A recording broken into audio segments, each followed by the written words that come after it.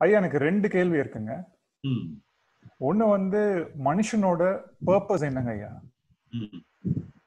அதாவது எல்லா மனுஷனும் சந்தோஷமா வாழணும் அப்படிங்கிறதுக்காக ஒரு ஸ்பிரிச்சுவல் பாத் எடுத்திருக்கோம்.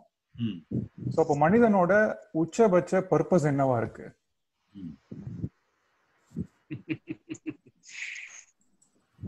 இது வந்து நான் எனக்கு தெரிஞ்சே சொல்லலாம். நீங்க உங்களுக்கு தெரிஞ்சதை ஒரு முடிவுக்கு வச்சுக்கிடலாம். ஓகேங்க ஐயா. ஆனா நம்ம மனித உயிர் நமக்கு தெரிஞ்ச அளவுல இப்ப மனித உயிர்கள் தான் வந்து கொஞ்சம் அறிவுல அதிகமான ஒரு நிலையில இருக்கு. மற்றதெல்லாம் வந்து நமக்கு கட்டுப்பட்ட இதுல தான் இருக்கு. அதனால நம்முடைய அறிவுடைமை பயன்படுத்தி நாம நல்லா வாழணுங்கிற அளவுல நம்ம முடிவு பண்ணிக்கிடலாம்.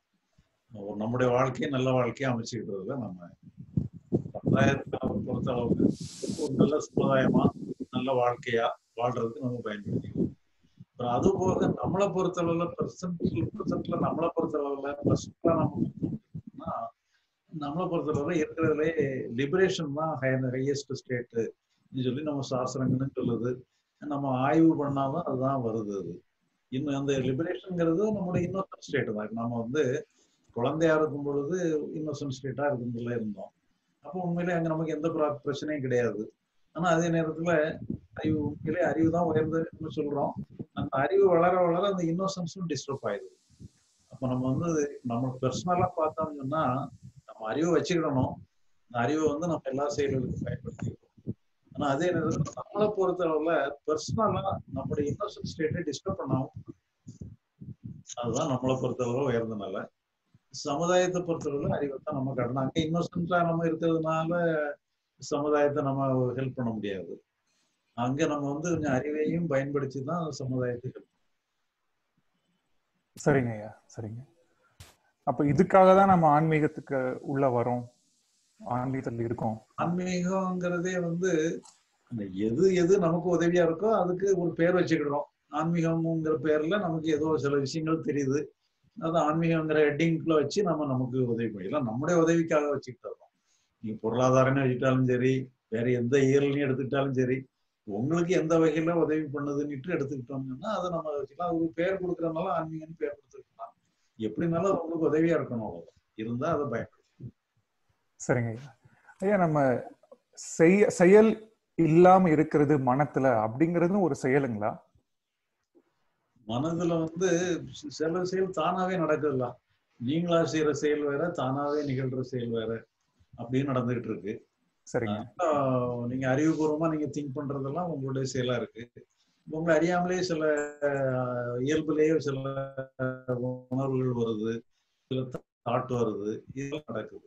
அதனால அங்க செயல் செய்யாம இருக்கணும்னுட்டுலாம் ஒன்றும் ஒரு இது பண்ணணுங்கிறது இல்லை. சரி, அது வந்து செயல்படுறதுக்காக தான் படைக்க எல்லாமே செயல்படுறதுக்காக தான் படைக்கப்பட்டிருக்கு.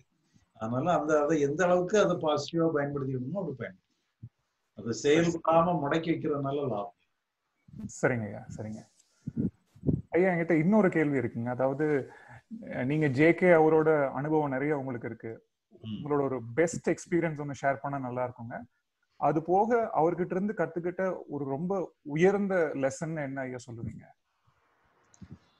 இல்ல அதாவது அவருடைய இப்ப அந்த ஆரம்ப காலத்துல எனக்கு அவருடைய கருத்து தான் எனக்கு பிரயோஜனமா இருந்தது. சரிங்க. லாஜிக்கல் அப்ரோச் நல்லா இருந்தது அவருக்கு இணையா வேற யாரையும் எனக்கு சொல்ல முடியல அந்த நேரத்துல. ஆனா. இருந்தாலும் கூட அவராலையுமே சில விஷயங்களை முடியல. அதனால நம்ம அது அவரை ஓரளவுக்கு தான் அவரை பயன்படுத்த முடிஞ்சது. சரிங்க ஐயா. சரிங்க நன்றிங்க. வணக்கம் ஐயா. ஐயா வீடியோ ஆன் பண்ண முடியாது இப்போதைக்கு. கொஸ்டின் கண்டினியூ பண்ணலாமா? இருந்தா நல்லா இருக்கும். தேங்க்யூ ஐயா. என் பேர் அமர். என் கொஸ்டின் வந்து ஒரு ஜென்ரிக் கொஸ்டின் தான் ஐயா. இந்த டிட்டர்மினேஷன் பின்ன ப்ரோக்ராஸ்டினேஷன் பர்த்தி தான். ஸோ என்ன அப்படின்னாக்கா இன்னைக்கு சாப்பிடாம இருந்தா ஒரு நல்ல மென்டலி பிசிக்கலி கொஞ்சம் ஹெல்த்தியா இருக்கும் அப்படின்ட்டு ஒரு யோசனை வருது. நேற்று நைட் வருதுன்னு வச்சுக்கோங்க. இன்னைக்கு எந்திரிச்சதும் பார்த்தா ஒரு ரொம்ப ரொம்ப டிட்டர்மைண்டா இருப்பேன். இந்த மாதிரி இன்னைக்கு ஸ்கிப் பண்ணணும் இன்னைக்கு ஃபாஸ்டிங் பண்ணணும் என்ன கொஞ்சம் மென்டலி கொஞ்சம் பிசிக்கலி கொஞ்சம் இம்ப்ரூவ்மெண்ட் இருக்கணும்ன்றதுக்காக ஹண்ட்ரட் பர்சன்ட் இன்னைக்கு ஸ்கிப் பண்ணணுன்ற உறுதியில இருப்பேன். கம்ப்ளீட்டா இருப்பேன். அன் வித்தவுட் டவுட் இருப்பேன். அதுக்கப்புறம் ஒரு ஒன் ஹவர் டூ ஹவர் ஆயிட்ட அப்புறம் அந்த டிட்டர்மினேஷன் லெவல் கம்மியாகுது. ஸோ ஏதோ ஒரு டிஸ்டர்பன்ஸ் வந்துச்சுனாக்கா அந்த டிட்டர்மினேஷன் கம்மியாயிடுது. அது பிரேக் பண்ணிடுறேன் இமீடியட்டா சோ ம். இதுக்கு எதனா டிப்ஸ் இல்ல ட்ரிக்ஸ் இருக்கா ஐயா? இல்ல பொதுவா எப்பவுமே வந்து நீங்க எதுக்கு இம்பார்ட்டன்ஸ் கொடுக்குறீங்களோ அதுதான். அந்த இம்பார்ட்டன்ஸ் தான் உங்களை வந்து உங்க செயல்ல ஈடுபட வைக்கும். உதாரணமா நீங்க காலையில நாலு மணிக்கு எழும்புற பழக்கத்தை வச்சுக்கணும்னு சொல்லி அலாரம் வைக்கிறீங்கன்னு வச்சுக்கோங்க. நீங்க படுக்கும்போது அலாரம் வைப்பீங்க. நாலு மணிக்கு எழும்பணும்னு அலாரம் வைப்பீங்க. ஆனால் கிடையாது. அதே மாதிரி அலாரம் வச்சானா நாலு மணிக்கு அலாரம் அடிக்கத்தான் செய்யும். உங்களுக்கு ஏன்னா இது நீங்க என்னன்னு சொல்லி சொன்னா அந்த நாலு மணிக்கு எழும்புறது நல்ல பழக்கம்னு சொல்லி நீங்க ஒரு ஹேபிட்ல ஃபார்ம் பண்றதுக்காக அப்படி பண்றீங்க. பட் இருந்தாலும் அது நீங்க படுக்கும்போது அந்த ஒரு ஒரு ஆர்வம் இருக்கு. கரெக்டா அந்த அலாரம் அடிக்கும்போது அந்த ஆர்வம் இருக்காது. அப்போ வந்து நீங்க அந்த தூக்கத்தினுடைய வேகம் தான் இருந்துட்டு இருக்கும் நீங்க சரி இன்னொரு நாளைக்கு கிளம்பிக்கலாம் இன்னைக்கு விட்டுருவோம் நீட்டு சொல்லி அலாரத்தை நிறுத்திடுவீங்க. இப்போ சப்போஸ் நீங்க நாளைக்கு காலையில உங்களுக்கு ஏழு மணிக்கு ஃப்ளைட்னு வச்சுக்கணும் நீங்க டிக்கெட் எடுத்துருக்கீங்க. நீங்க நாலு மணிக்கு எழும்பி புறப்பட்டா தான் ஏழு மணி ஃப்ளைட்டை பிடிக்க முடியும்ங்கிற மாதிரி இருந்துன்னு சொன்னா நீங்க நாலு மணிக்கு அலாரம் அடிச்ச உடனே நீங்க உங்களுக்கு அப்படி சொல்லி எழும்பிடுவீங்க. உற்சாகத்தோட எழும்பிடுவீங்க. இப்போ காரணம் என்னன்னு சொல்லி சொன்னா உங்களுக்கு ஒரு தீர்மானம் இருக்கு. அது மேல ஒரு ஒரு ஒரு அவசியம் இருக்கு. அந்த அவசியம் தீர்மானம் எல்லாம் சேர்ந்ததுனால தான் உங்களுக்கு செயலுக்கு சாத்தியமா இருக்கு. அதே மாதிரி என்ன நீங்க எதுவா இருந்தாலுமே அது ஒரு அவசியம்ங்கிறதையும் நீங்க அதோட இம்பார்ட்டன்ஸ் எல்லாம் நீங்க எந்த அளவுக்கு நீங்க அது எடுத்துக்கிட்டீங்களோ முக்கியத்துவம் கொடுக்கறதுக்கு தகுந்த மாதிரி உங்களுக்கு ஆர்வம் முக்கியத்துவம் குறைஞ்சிட்டுன்னு சொன்னா ஆர்வமும் குறையும்.